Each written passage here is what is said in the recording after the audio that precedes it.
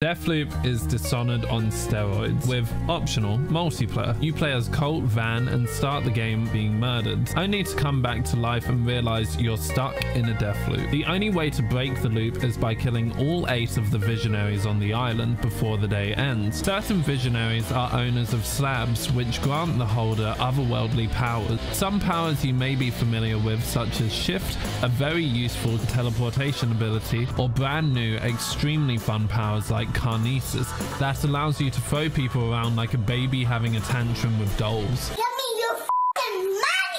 The Aether Slab grants you the power of invisibility. The Nexus Slab allows you to connect the fates of your enemies. Once linked, eliminating one of them will eliminate them all. Finally, Havoc is essentially you turning into the Hulk, allowing you to take more damage and deal more damage. If you're looking for a game where you can be a badass detective with superpowers, then look no further than this because